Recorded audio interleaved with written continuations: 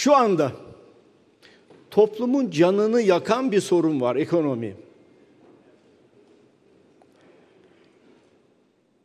İster markete gidin, ister pazara gidin, ister bakkala gidin.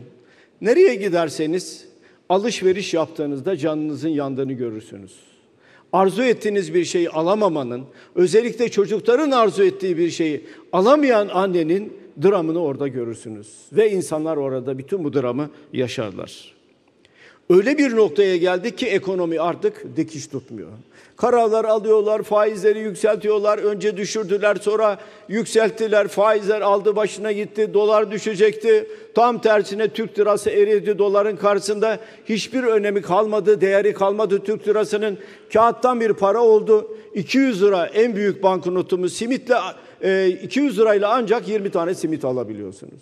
Böyle bir noktaya geldik değerli arkadaşlarım. Ve Türkiye öyle bir noktaya geldi ki borç para buldu diye sevinen bir ülke haline geldi. Borç para buldu diye. Gidiyorsunuz Katar'a, gidiyorsunuz Körfez ülkelerine, gidiyorsunuz Amerika'ya, gidiyorsunuz İngiltere'ye. Acaba borç para bulabilir miyim diye. Gelmiyor. Vermiyorlar. İstikrar yok diyorlar sizde. Ve borç para bulamıyorlar. Bulduklarında ise seviniyorlar. Türkiye'nin geldiği nokta bu açıdan ibret vereceğim.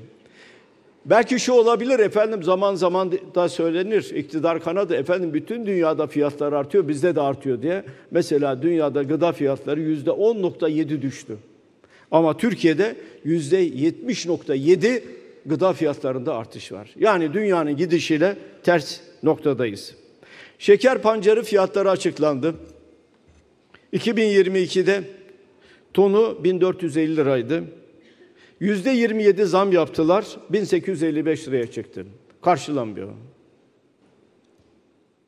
Değerli arkadaşlarım, bu süre içinde enflasyon yüzde 61.5 oldu. Mazot 4 ayda yüzde 100 zamlandı. Gübrenin fiyatı yüzde 200 zamlandı. Pancar üreticisine ise sadece yüzde 27 verdiler. Dolayısıyla baktığınızda pancarı ekmeğin, şekeri nasıl olsa dışarıdan alıyoruz. Ve Türkiye 34 yıl sonra yurt dışından şeker ithal eden ülke konumuna geldi. Böyle giderse her şeyi artık dışarıdan alacağız. Böyle bir garip durumla karşı karşıyayız. Pamuk. Pamuğun üretim maliyeti kilo başına 25 liranın üzerinde. Öyle diyor üreticiler. 25 liranın üzerinde. Verilen fiyat 20 lira. Yani pamuk ekmeyin diyorlar.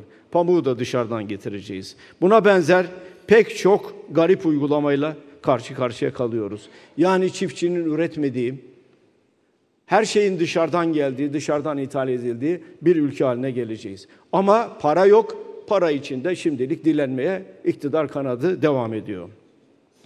Hayat pahalılığı yansıyınca, her eve yansıyınca üniversiteye, öğrencilere de yansımış oluyor. Dolayısıyla pek çok sorunu olan öğrencilerin mesela 21 yıldır barınma sorununu çözemediler. Oysa bir yıl içinde Türkiye'de yurt sorunu çözmek mümkün. Çok basit bir olay ama yapmıyorlar. Çünkü öğrencilerin başka yerlere mahkum olmasını istiyorlar. Aileler çocuklarını başka yerlere versin istiyorlar. Ama yurt sorunu çözemediler. Fahiş ev kiraları var. Burayı da çözemiyorlar. Geçen yıl bir öğrencinin aylık masrafı İstanbul için veriyorum rakamları 5357 lira iken yüzde 134 artış oldu. Şimdi 5357 liradan 12.535 liraya yükselmiş durumda. Hangi aile bunu karşılayacak?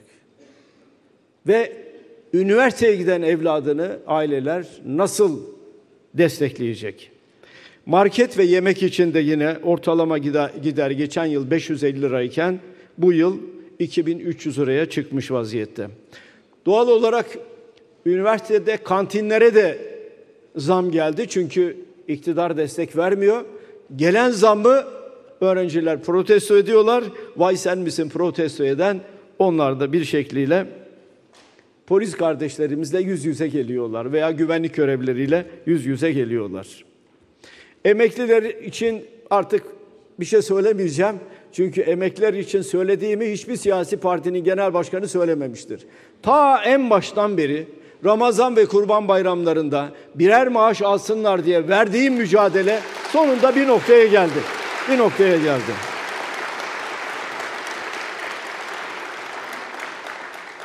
Şimdi yine ısrar ettik ya emekliler geçinemiyorlar. Emekli Derneği'ni ziyaret ettiğim zaman cebimden 200 lirayı çıkardım. Bu 200 lirayla ancak siz 20 simit alabiliyorsunuz. 20 simit.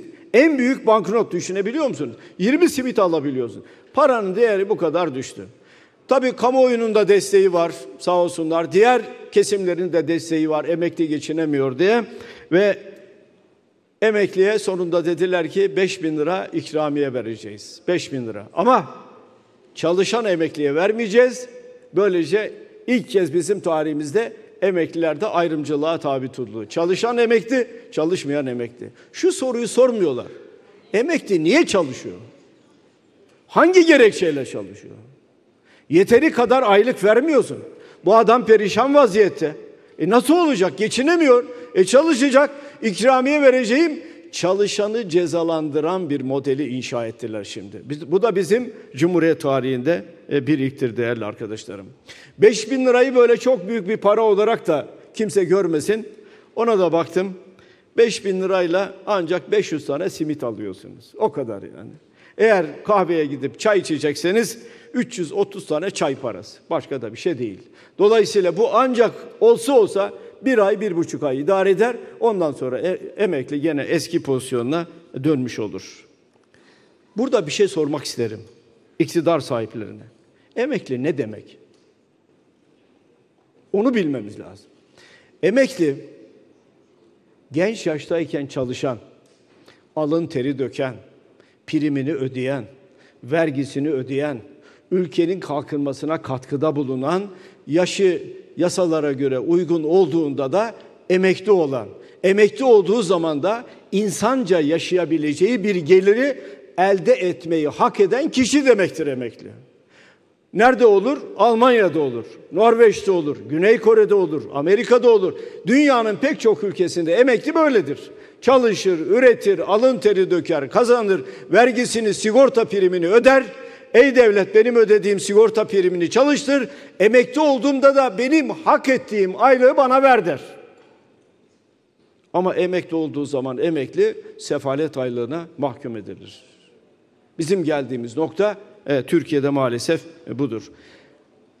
Avrupa'da emekliler yaz tatillerini dünyanın değişik ülkelerinde geçirirler. Bizdeki emeklilerin ise böyle bir şansı maalesef yoktur. Dul ve yetimlere ne verilecek onu bilmiyorum ama dul bir kızın aldığı, yetim bir kızın aldığı aylık 1875 lira. Onun da bilinmesini isterim. İşin özeti ekonomide diyorlardı ki 2023'te aya gideceğiz. Öyle bir noktaya geldik ki aydan falan vazgeçtik. Artık markete bile gidemiyoruz. Geldiğimiz nokta budur.